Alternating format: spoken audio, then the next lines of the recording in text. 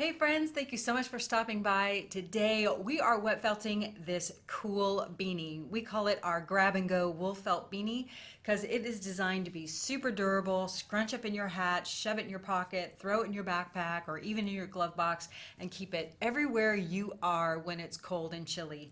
It will make amazing gifts it will sell well if you're selling like online or especially at craft fairs and stuff where people can try them on. We're going to show you how to make it so it fits your head and help you a little with sizing. This is the quick version of the tutorial. If you are looking for the longer Q&A that we presented live, check the description for a link. And if you're brand, brand new and you want to really take it slow, look for the link for our online school. This is going to be one of our free classes and we'll break it down for you just a little bit more. So this is our grab and go wool felt beanie. Let's jump into it. To size your hat to fit, there's a couple of ways you can go. So the first one is that you can measure your own head. We'll start by measuring around your head and you want to measure around like this back part of your head that's a little bit bigger and wherever you like to wear the hat. Like some of my friends like to wear their hat on the very top of their head, like almost sitting on their head. But for me, I like to wear a hat over around my ears. So take your measurements around the head first and write those down. That's your hat size, fitting snug. And then you're going to want to measure across the dome of the head. And so you go about mid-ear, I can't see where her ears are, but about mid-ear around to the other mid-ear and write down that measurement. That's going to tell you how tall to make your hat. Now these measurements show you what you want the end size hat to be. So in this case, I did the height plus a few inches for my rolled up brim and then this is the width. So around the head, this is half of that. I like a little bit of ease, so my hat will be just a little bit bigger than around my head, maybe a, you know a half to a size larger so that it's a little loose. Um, I don't want it to fit super tight. And then again, the length is longer. This is going to be the finished size of the hat, but our resist is this big. And that's because we went for a 40% shrinkage to make a very durable felt. You might only be going for a 30% shrinkage, but if you want it more durable, shoot over 30%, 35 or 40%. It's going to take a little bit more elbow grease, um, but it's worth it. Now, if you don't know how to do the shrinkage, basically you're going to take that end size and divide by 1 minus the difference. So if it is, if you're going for 40% shrinkage, you would take the measurement divided by 0.6 or 60%. And you can, we have a shrinkage calculator on our website for those who are super nerdy like me and like to get into Excel, or you can also get the PDF for this. Uh, we have a kit that comes with printed instructions um, to help you just get to that shrinkage. But this is based on a 40% shrinkage. This is the uh, starting resist that we're going to begin with. Take your measurements around and across the dome at any length so that we're going to stop the wool right about here as you'll see and um, just make sure you do the difference so that you can shrink it down. Here a look at our supplies. We're starting with warm water and I have my soap in here just getting things all nice and soapy. Not sure why I brought two bars of soap but here they are. I'd like to wet out with a sponge and a ball brause. We're going to be rolling with a pool noodle and a closet pole using mesh and plastic as a barrier. And as always, I have two sheets of plastic.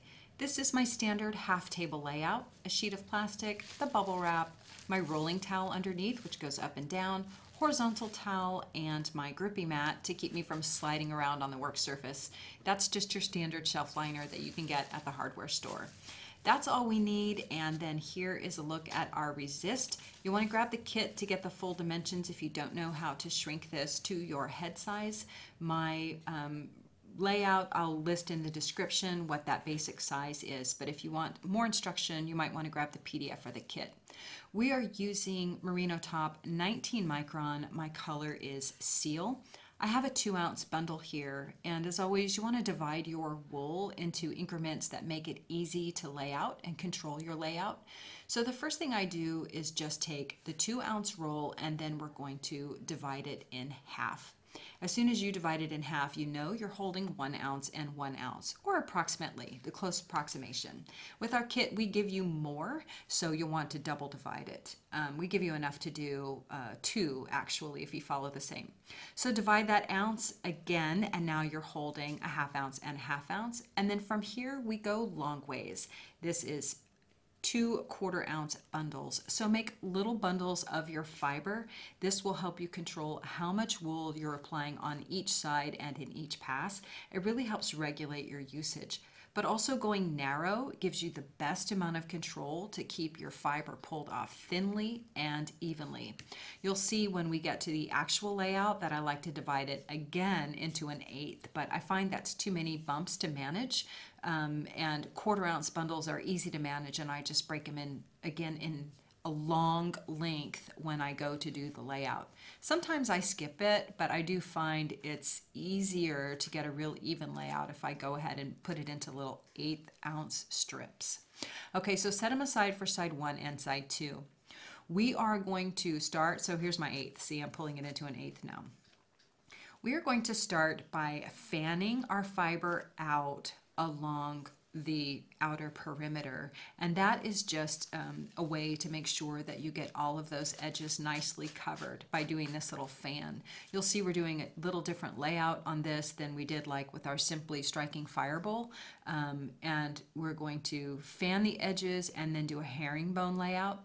If this feels too intimidating just go ahead and do the crisscross layout on your first one and then try this after trying the herringbone maybe on a flat piece.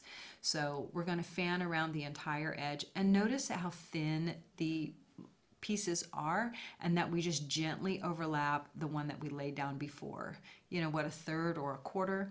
You just want to cover every little bit and we're only sticking off about an inch or so. Fan it all the way around and just take your time. Your hands are dry, so it's a little bit easier on the first layer than it is once you start getting the layers wet. And then you'll see that we're stopping the wool short of the end of the resist. So this is an open resist layout. And you'll want to make sure that when you do your measurements that you leave enough, um, you add the inches for your resist. And again, that's in the PDF or the kit instructions, which in the kit you get them all printed. and it just basically reminds you of these steps. Now I turn this sideways just for convenience and comfort. It's a little easier for me to do the herringbone layout that way. And I'm starting not right at the top. I'll, I'll come back and add the fiber there, but I'm just doing my first diagonal over the edge of the fibers in the first row. So you're doing about a 45 degree angle. And with the herringbone, we're just going to go at the same 45 degree angle row to row. So then um, Usually you put the blunt end over on top of the fanned out end and sometimes that's a little difficult for me so I'll just flip it over and I've not really found much difference in the way um, the fibers lay out um, as long as you get a good amount of coverage when you lay out each row and you'll see that I go back here and just hit the crown so that I do have two layers of fiber across this entire resist. So take your time. We did the same herringbone layout on the cowl tutorial. Um, the cowl is a nuno felt, so we do start with the silk base layer, but it's a great one to practice the herringbone layout on, and it's almost foolproof because you have the scarf underneath. Um, so here you see I'm just going back and putting that other diagonal layer right over the crown there. Okay, so fill in this whole side with the herringbone layout and you're going to use that quarter ounce and um, I think the quarter ounce, I'm not sure if I used a pinch more, but we end up using just about two ounces on this hat. I have like a tiny bit left. So two ounces should do this entire hat. And mine ends up getting stretched to about a 22 inch. My hat size is about 21 and a half, but I wanted this to fit loose, you know, close and cozy, not too tight but not big and sloppy either. Now I've slowed down here for the moment just to demonstrate how I go over the side and check for the evenness. We're really putting very little fiber on this project so we don't want any holes. Feel with your hands while it's dry. Make sure there are no bare spots in these first two layers and just fill them in where you need. This is the time to catch holes and bare spots when the fiber is dry. It's so much easier than when it's wet. And this 19 and a half micron merino wool will felt so fast that it's hard to fill in holes once you've already started wet felting or bare spots. So take your time when it's dry and if it feels thin, add another little bit. If it feels lumpy, make sure your towels and work surface underneath are straight first. Um, but the best thing to do is to just to practice and learn to pull off in these little increments. I think when people have the least amount of control is when they're pulling off too much wool. So go for these eighth ounce strips and see if that doesn't improve your ability to control the fiber. Now once everything is all in place, we are going to wet this layer out. Each side will have three layers of fiber, the herringbone layout and then a vertical layer, and I'll show you that also. For the wet out, I like to use my mesh. Mesh is just my go-to um, barrier when I wet out. If you don't have mesh, then wet out with a sprinkler or the ball brause and make sure it's really high so that the force doesn't disturb your fibers underneath. The mesh is a great barrier and allows me to do my favorite um, pressing method. I like to load up my sponge with warm water, load it up with soap, and press water and soap in and air out. I start in the middle so that we're pushing all the water to the perimeter. So the sponge at this point is really to apply soap and water, um, not dabbing the surface. Sometimes people see me do it and then they just dab the surface of their project. We're, I'm pressing the water and soap in and air out. So take your time here. You want the entire side to be wet and flat, especially when it's so thin. There's no reason for it to be dry. And this merino top will accept the water and the soap quite readily. Now this hat is really simple in design. The whole purpose of this hat is form and function and minimal design. You can make yours as dressy as you want, but mine is designed for an everyday. And the most important thing is to teach you how to make a simple hat that fits your head and is a really, really good piece of felt. Always peel back your mesh at this really shallow angle so that you don't pull any of your fibers up and take your time. Really, I just use the mesh now for a barrier. If you've seen past videos of me, I used to um, keep it on the project and roll with it initially. I've come to love the plastic. Some friends of mine kind of turned me onto it and I like to use, I used to use two layers of mesh, now I use two layers of plastic. So it keeps the water in a little bit, especially on a thin project, and is great for the flipping, which I always used the mesh for, but now I'm just in love with the plastic. So flip your project over and of course we are going to wrap all of these fibers around to this side. The most important thing is a snug fit. So if you're making a project that's thicker, I still encourage you to do layers in multiple passes rather than a huge big block of dry wool and then try and wrap it over. It's going to give you better control and better binding of the two sides where you where you wrap them around. So use the plastic, to help you guide the fibers. It makes things oh so easy. And I always did this with the mesh too. So if you don't have the plastic and you have the mesh, you can do this also. It's the same method. Um, the plastic just holds all that water in for you. Okay, so get a real nice snug fit there. And then we're going to repeat on this side the very same fiber layout that we did on side one. That means we're going to fan it over the edges and then do the herringbone layout. It's always a little more challenging when your hands are wet and a little tacky from the soap. So then especially go down to your eighth ounce increments so that you really have the most control. And nothing new here.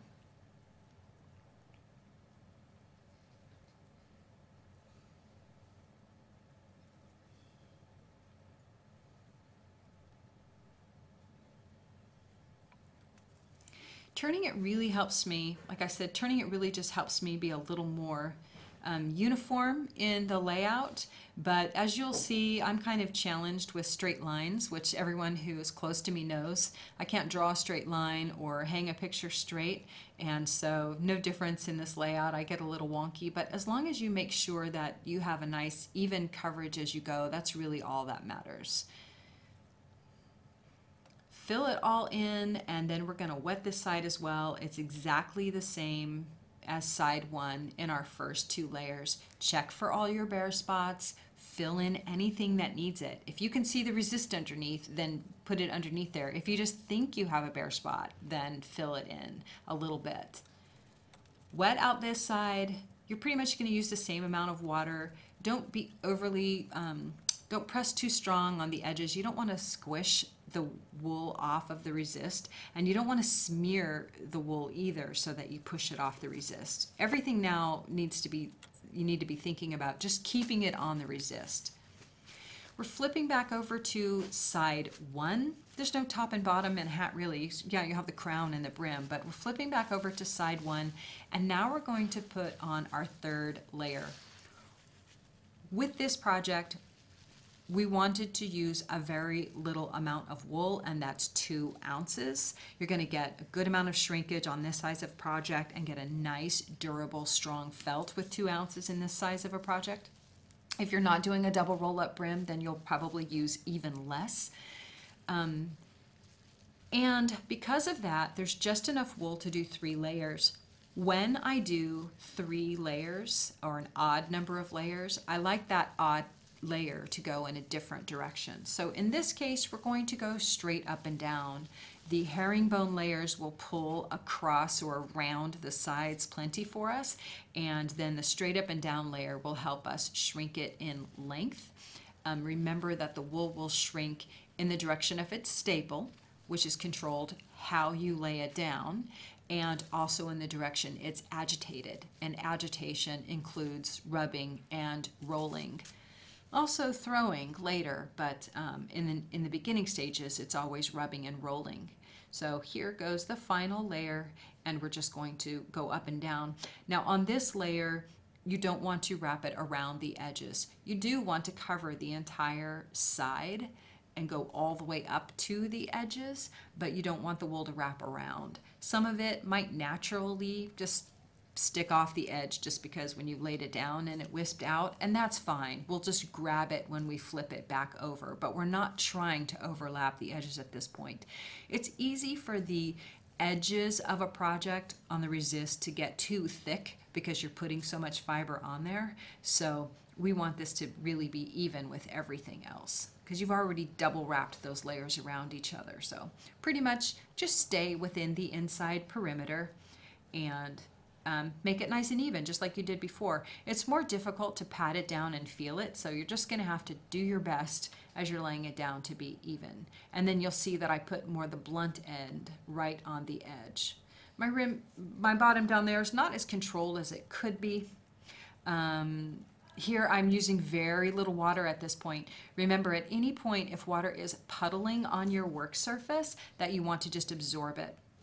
Before I flip it back over, we're going to put the design layer on. I kept it very minimal for this project. I have um, Midnight, Viscose, um, Deep Blue Sea, Bamboo, and then a couple of black, I have black Sari Silk Waste and black hankies.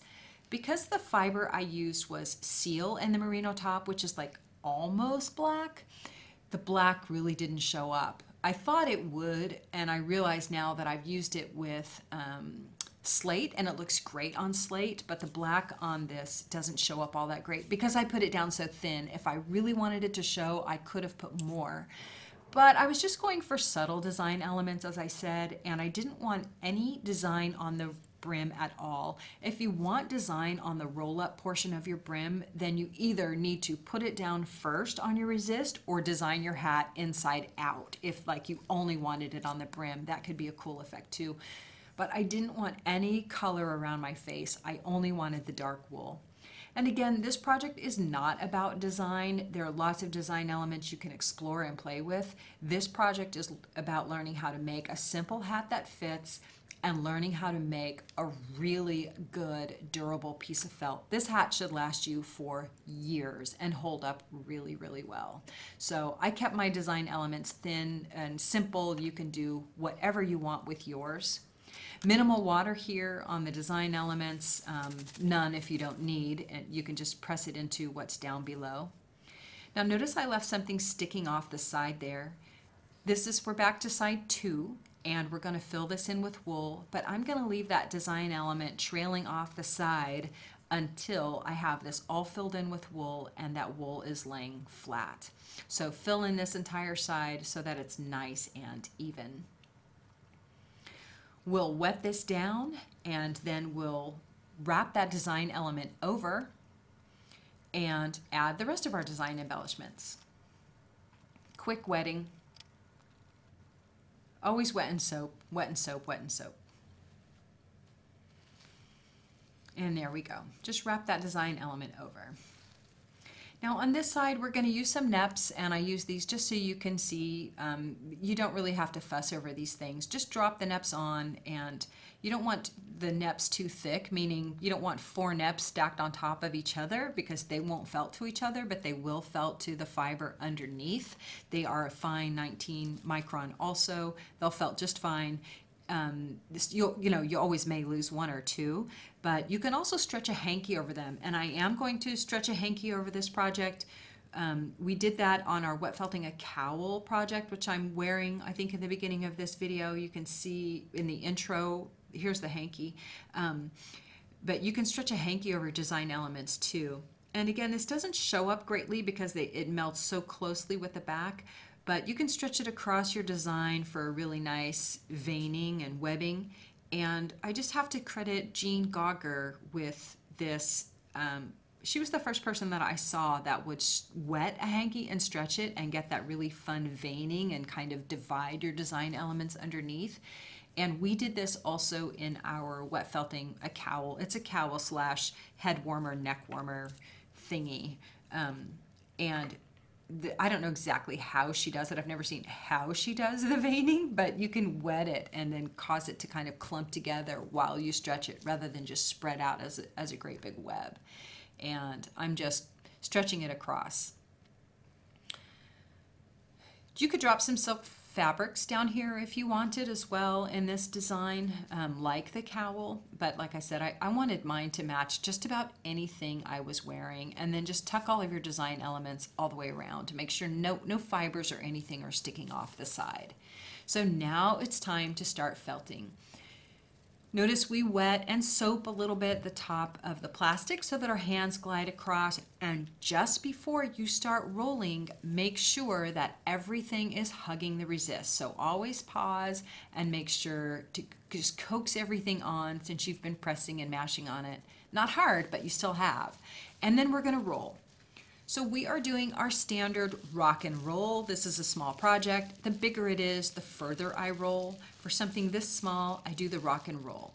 Roll it up in the plastic and the bubble, and then in your rolling towel. You're gonna rock and roll in increments of 25 up to 100. So you'll do this for 25 and then give it a quarter turn on its axis until you reach 100. So 25, quarter turn, 25, quarter turn, 25, quarter turn.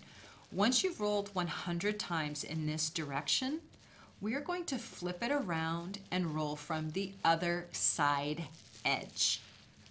This is kind of like our Simply Striking wet felt vessel with, you know, controlled shrinkage and planned shrinkage in that we're favoring shrinking side to side first so that it really hugs that resist. We don't want it to slip off at all. You want it to shrink up and snug those sides really well so that you don't get any seams. So we will do this on side one and side two. So you do side one, side edge, side edge, side two, side edge, side edge.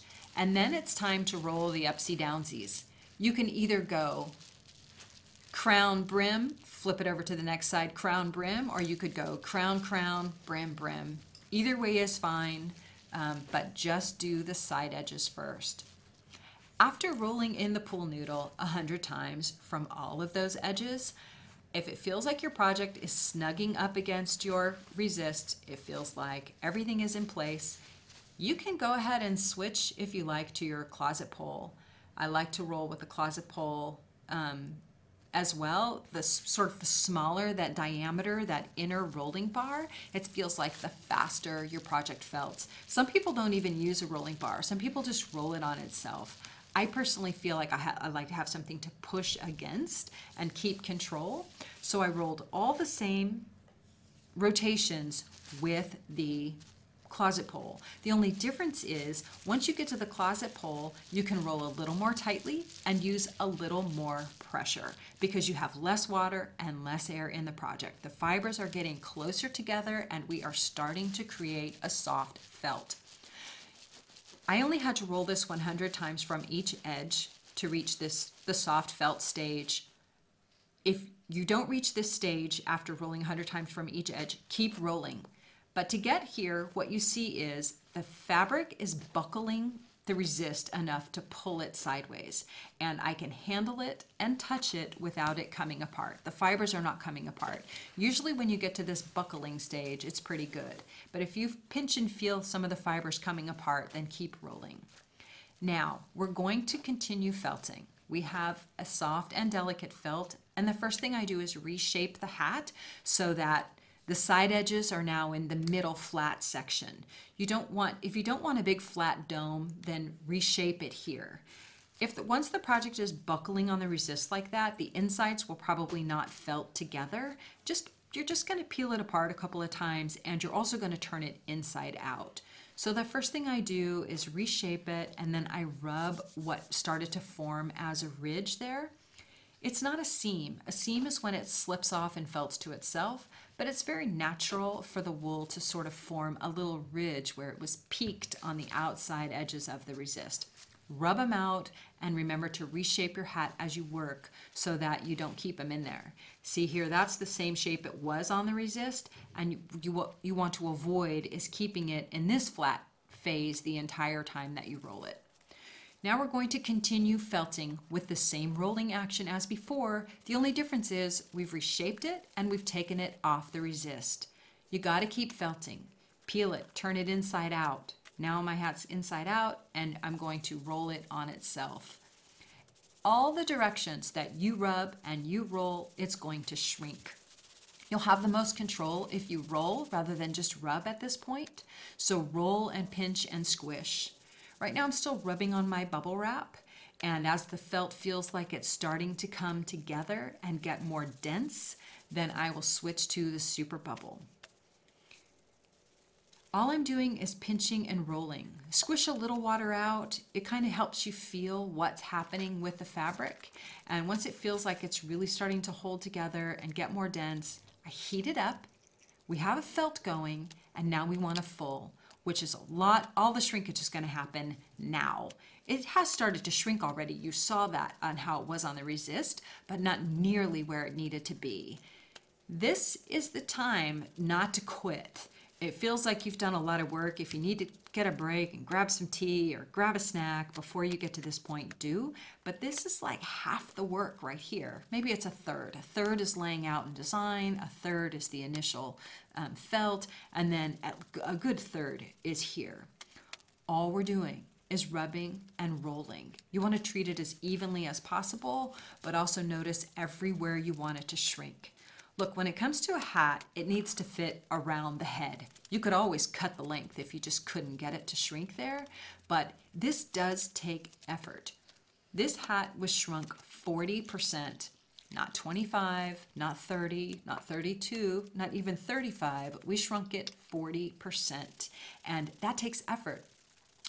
Notice uh, rolling here that with the pool noodle, I mean, with the closet pole that I put the plastic on, that wood will grab onto your fibers and tend to give you a fuzzier surface. So use that plastic barrier when you put your fiber on the wood. It's not to protect the wood, it's to protect the, the hat from getting too fuzzy. I like pushing against that closet pole sometimes. It helps me really use my strength. And now I'm shaping the crown of the head, the dome. Really want to get that round. So put your hand inside, all the while you're felting this, you're rubbing both sides. You're turning the hat inside and right side out and inside out. But now we want to shape that crown. I wanted my hat to have a little bit of wrinkle and shaping on the crown, so um, I made the crown of my resist a little more broad. If you want yours to hug without any crinkle at all in it, then just make your resist a little more narrow in the dome if you really want it to. You can kind of stretch it to fit your head. Um, and I wanted mine just to be have a little bit of character and crinkle. And all we're doing here is rubbing and rolling and shrinking and squishing and pinching everywhere we want it to shrink.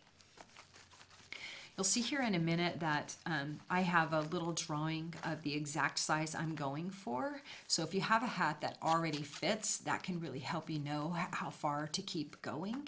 Um, and it just needs to be a shape that doesn't require a stretch to fit. So here's that shape right now. This is the shape I'm going for. That's the exact fit that I wanted to get. And so I'm really, really close. All I want to do is just um, bring in that crown a little bit more. And now we're just spot fulling. We're just pinching and rolling and adding agitation where we want to coax it in a little bit. And you'll notice that I don't always start right on that very edge. I might even pinch it on the innards a little bit. Along the brim, if you want a perfectly straight brim and you're not happy, well then you can trim it. Um, but also you can just tug on the brim and roll it where you want it. So at this point, this is the final, final um, felting stage. We're just getting that little bit of shaping in. And notice we're just, I'm tugging the edge. I wasn't really fussy about the edge of my hat, the brim. You can fuss over it as much as you want. I knew I was gonna roll mine up. And so I just roll and pinch where I want it to shrink a little bit but I really wasn't being overly meticulous about the edge because I always planned this to be a double roll up beanie, which is one of my favorites. So your final pinches and rolls, and once you have your hat how you want it, just for fun, look at how it compares to what it started.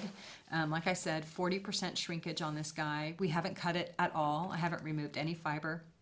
Rinse out all of the soap and water. Regular room temperature water is fine. You don't have to do hot and cold. You can do hot. Some people never put cold.